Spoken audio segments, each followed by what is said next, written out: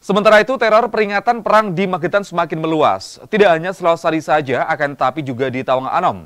Penerima surat keleng itu mengaku ketakutan sampai tidak bisa tidur.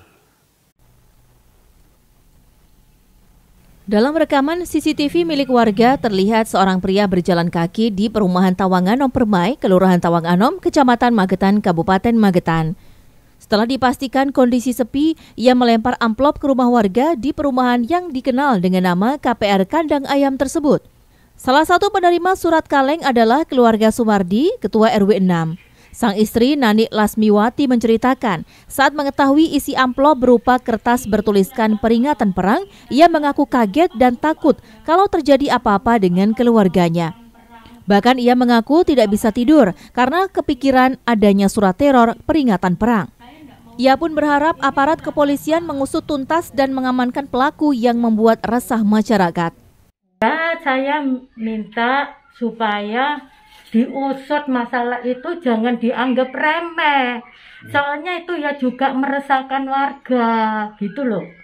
Ya biarpun toh ini surat peringatan bagi orang yang memberi, tapi kita kan res, tetap resah soalnya warga Magetan kok perang.